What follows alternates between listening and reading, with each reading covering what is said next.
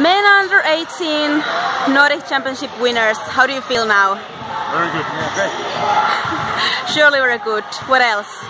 How did you play today?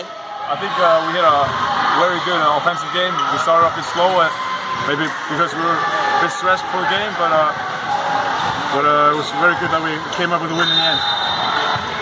Yes. So, is there a party tonight? No, I think so.